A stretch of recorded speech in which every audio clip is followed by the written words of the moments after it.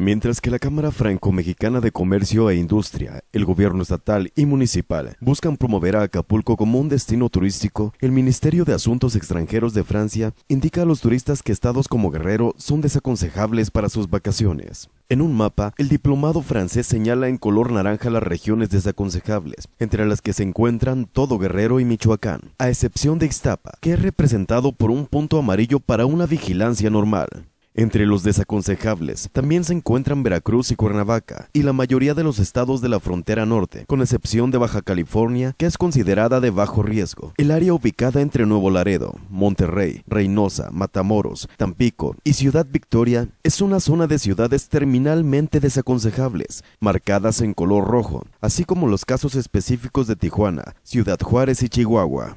Para Tasco al Día, José Manuel Valladares.